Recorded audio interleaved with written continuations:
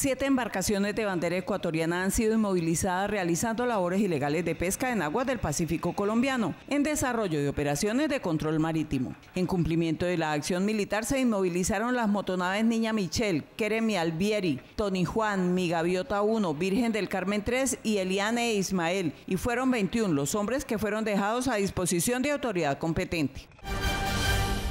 La de hoy en la campaña por la presidencia de la República del candidato Zuluaga del Centro Democrático fue una jornada de confirmación de los rumores de adhesión que circulaban desde el comienzo de esta semana. Antes de culminar el día y al término de un encuentro entre el candidato Zuluaga y Marta Lucía Ramírez, fue la misma excandidata quien confirmó la decisión en la que asegura la acompañan los conservadores que creyeron en su propuesta y que hoy, al igual que antes, apoyan su decisión. Entre tanto, 47 congresistas del Partido Conservador oficializaron hoy su apoyo a la reelección del candidato presidente Juan Manuel Santos. Luego de los análisis internos del partido, Efraín Cepeda aseguró que como partido de orden le apuestan a la paz. En declaración a nombre de senadores y representantes y en compañía del candidato presidente, aseguró que tomaron la decisión seguro de que la paz se traducirá en mayor bienestar para los colombianos.